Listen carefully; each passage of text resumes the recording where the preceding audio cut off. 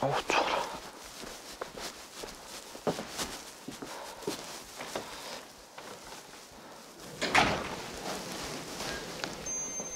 아 뭐야 뭐야라니 아, 지겹네 아, 여기 있어요?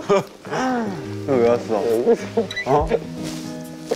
나 다른 남자인 줄 알고 왔더니 이쁘게 하고 왔네 그래서? 아, 죄송하게 근데 왜 왔냐?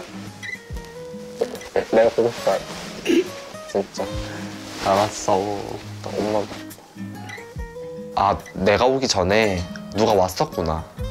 근데 저런 표정을 지을 사람은 준성이 형이겠구나. 이런 생각을 했죠. 이거 좋네 좋네. 이거 마실래? 다시 마실래?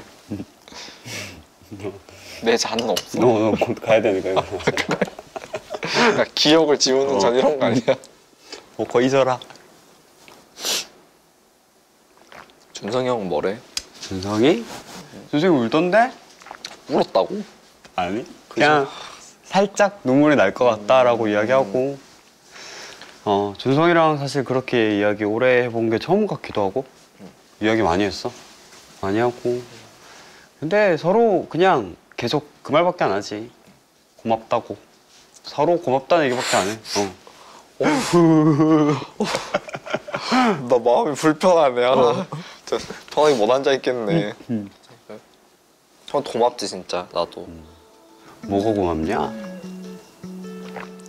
다른 사람이었으면은 이렇게 좀 준성이 형에 대한 마음을 정하기까지 불편했을 거야 형이 막 말을 좀 예쁘게 안 해주고 우리 관계를 좀 깨끗하게 정리를 안 하려고 했으면 음. 내가 불편해서 중성이 형한테 음. 집중할 수 있었을까? 음.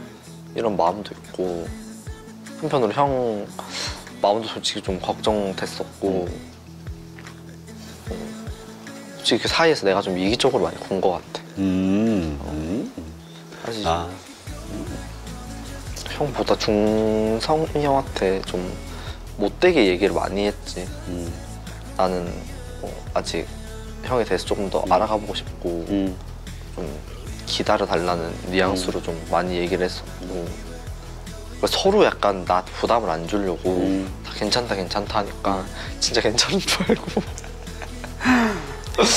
그랬지 많이 걱정되더라고요.